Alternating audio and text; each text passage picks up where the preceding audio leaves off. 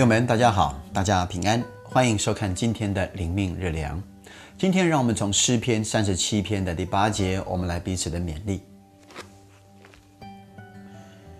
当止住怒气，离弃愤怒，不要心怀不平，以致作恶。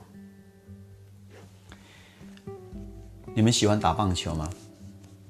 在棒球的比赛当中呢，一个优秀的这个打击手，除了有挥棒的这个战力之外啊，更需具备不挥棒的智慧，否则呢？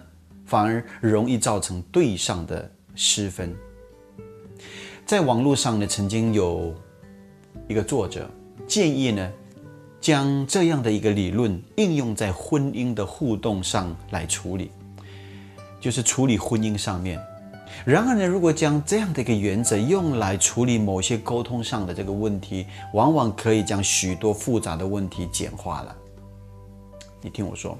人在世上难免会面临一些偏激的言论，或者是情绪化的攻击。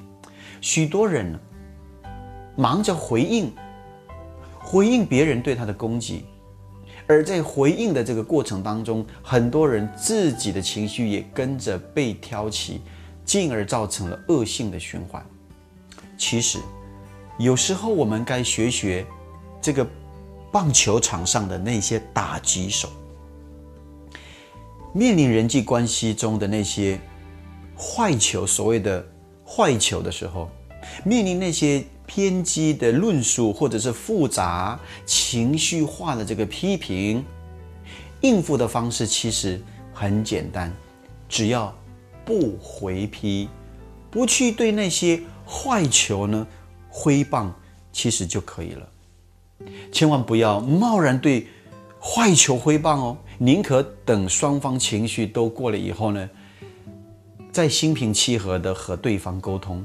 要不然的话，你若回了他所投出去的这个坏球，若直接反击他的话，那些情绪化的言语批评不但打不出什么好球，反而容易将就让自己的这个意外失了分，而将自己的这个层次与格调呢。拉得跟对方同等级了，如此做呢，真是得不偿失，对不对？